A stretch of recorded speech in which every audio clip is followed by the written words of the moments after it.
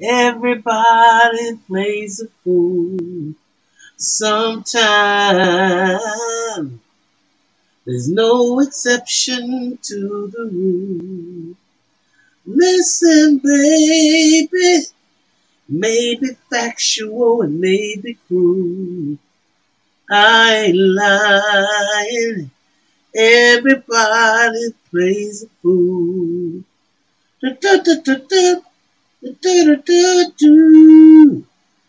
Falling in love is such an easy thing to do.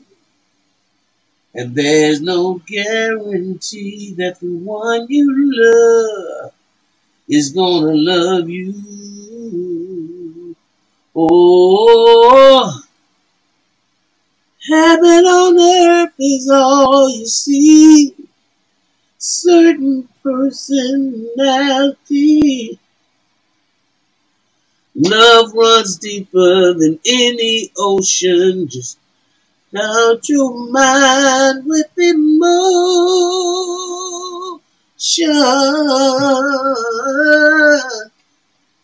Everybody plays a fool sometime.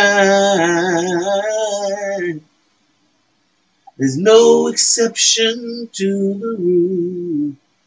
Listen to me, baby. Maybe factual, it may be true. I'm gonna say it again. Damn, damn, damn. I knew it. I knew it. I knew it. I knew it. I knew it. Okay, y'all. I'm sure y'all know by now. Um, this is such a crazy, crazy um uh, uh story, but it don't shock. It shouldn't shock you. Uh, I mean, he did it to everybody. He didn't kill three girlfriends. He shot one, and one survived. She the one that's scared of him he killed one that that he was um actually in jail for, and then now it's saying Casey White is charged with felony murder in connection with the death of prison guard Vicky White. Their parents spent 11 days on the run after Alabama prison break before police chase that ended with a bullet in her head. Damn. Oh my God. Uh, Alabama prisoner Casey White has been charged with the murder of corrections officer Vicky White after she helped him escape custody. The 38-year-old ran away with the prison officer on April 29th and staged a well-planned escape from the law, swapping vehicles and using disguises as they traversed uh, three states. Now, I don't know if she told him to kill her if the police get there, because uh, she don't want to get taken alive. But he's they saying now that, like I said from the beginning, he shot her. Indiana authorities have previously stated that Vicky died as a result of a self-inflicted gunshot wound to the head as police closed in on the pair. Casey White has been charged with her murder, but indictment does not state that he shot her.